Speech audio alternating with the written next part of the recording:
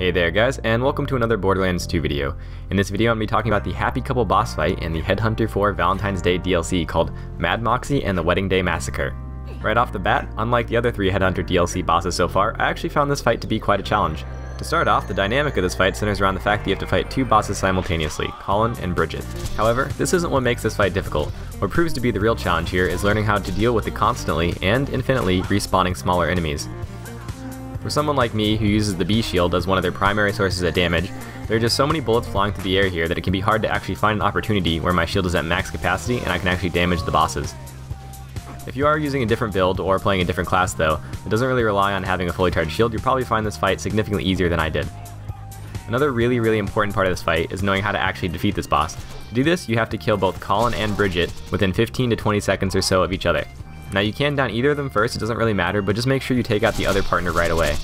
If you do not kill the second partner immediately after downing the first one, after about 5 to 10 seconds or so, the second partner will run over to their fallen lover, spend about 5 seconds standing over them, and then proceed to revive them. The two bosses will then both have their health fully restored, and their level will increase by 1, so you basically have to start this fight all over again.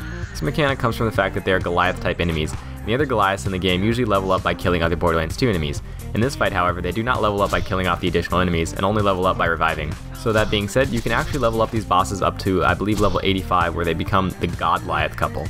As far as I know, and feel free to correct me in the comments if I am wrong, leveling them up does not increase the quality or quantity of the rewards you receive, so purposely leveling them up would only provide an increased challenge for you, but it is something to do if you are looking for that challenge. As for the strategies, there aren't really any new or interesting tactics that I could find, with one major exception.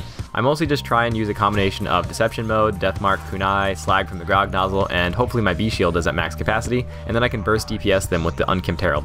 So you can see that with all these things, it's really hard for the stars to align in this fight, and that's why I usually spend the majority of my time running around and looking for cover, and waiting for my shield to recharge, which is why I find this fight frustrating at times.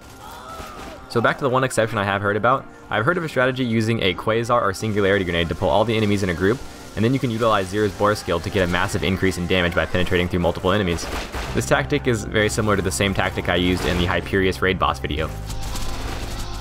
Overall though, I didn't really find this to be a particularly effective strategy as I noticed that it seems like the couple are resistant to the singularity grenade effects, and most of the time they were spread out too far anyway.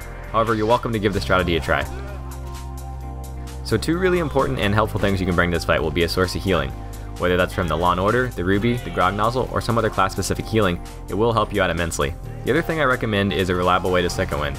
With so many enemies here, there almost always will be an enemy in range of you, and for me it's almost a certainty that I go down at least once in this fight.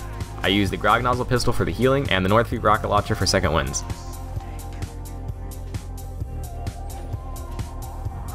Well, that's pretty much the extent of the fight, guys. If you are struggling, just keep practicing and this fight will become more and more familiar and easier to do each time. When you do defeat this boss, it will always drop a legendary Thresher bait, which then can be used to summon the final boss in a series of hidden bosses in this area. I do have a video explaining all of that, if you guys want to check it out, it will be linked in an annotation in the video. One final note I have is to make sure and don't save and quit right away, because the majority of the loot actually arrives via hot air balloon around 30 seconds or more after you defeat the couple. Then you can prepare for an awesome loot explosion.